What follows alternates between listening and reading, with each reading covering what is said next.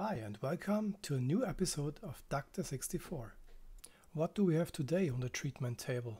A Commodore SEPCP 250 425. What's wrong with it? Ooh, garbage on the screen. Some ideas what the root cause is? Yes, Jan Beta, what's your opinion? Ah, okay. Yes, Mr. Adrian Black? Ah, good idea. Ah, Mr. Mindflare Retro? Yes, you're all right. If you search the internet for C64 scrambled screen, you often find a RAM error.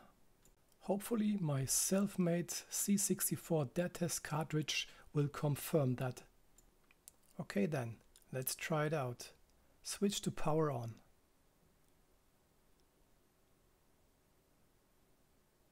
Okay, flashing two times. A quick look in the dead test cartridge manual shows flashing two times means the bad RAM chip is U24. Let's try piggybacking a new RAM chip onto the bad one.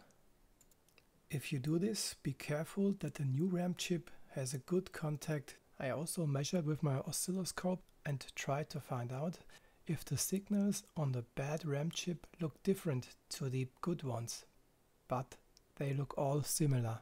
So no chance to find the bad RAM chip only with an oscilloscope. Mm, okay, looks good so far. Our new RAM chip doesn't have a notch, it has a point on pin 1. Take care of that. By the way, you can find such DRAM chips on eBay. Okay, okay, nothing flashing. Seems good so far, seems good so far. And yes, it works. Okay, then let's solder a socket in and place a new RAM chip into it. Power on again. Try it again with the dead test cartridge. It takes some seconds. And then yeah, okay, it works.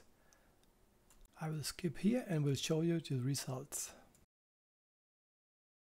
Sound test was also okay, sound was hearable. So another C64 is back to life, but let's see if it works in the original C64 mode without the dead test cartridge. And yeah, also works fine. Great. Today it was a quick repair. Thanks for watching and see you next time. Your Dr. 64.